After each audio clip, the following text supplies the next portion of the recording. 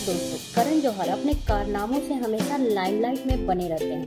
वो आजकल अपने शो कॉपी विद करण को लेकर चर्चा में बने हुए हैं। खबरों में आ रहा था कि उनके शो कॉपी विद करण के सीज़न के दूसरे एपिसोड में रणवीर कपूर और आलिया भट्ट गेस्ट बन के आने वाले हैं। पर अब करण ने खुद इस बात को बताया है कि रणवीर कपूर ने उनके शो में आने से मना कर दिया है और कहा है कि उनके शो में कभी भी नहीं आएँगे। इस पर करण ने कहा कि आजकल लोग काफ़ी डरे हुए हैं, क्योंकि आजकल तेज़ी से भागते जनरेशन के बीच कुछ भी हेडलाइन बन सकता है और कुछ भी सनसनी पैदा कर सकता है। रणबीर कपूर ने मुझसे कहा है कि मेरे शो में नहीं आएँगे, क्योंकि उन्हें आगे लंबे समय तक इसकी कीमत चुकानी पड़ेगी। रणबीर कपूर ने कहा कि प्लीज़ तुम मुझे अपने शो में मत बुलाओ मैं तुमसे बहुत प्यार करता हूँ शो पर आने के बजाय मैं तुम्हारे घर चैट पे आ जाऊँगा और कॉफ़ी भी पी लूँगा रणबीर कपूर करण के शो को बिल्कुल भी पसंद नहीं करते उनका एक वीडियो भी सामने आ चुका है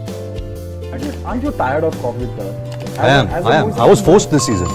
I told him I don't want to come, and me and Anushka actually were going to protest and get the entire film industry together because to stop this, it's not fair because he's making money out of us. Yeah. We come and we get screwed through the year. You know, and it's not right. It's क्या not होता है hamper में but ये तो- nothing. Ghanda you get anything. Same iPhone. you get.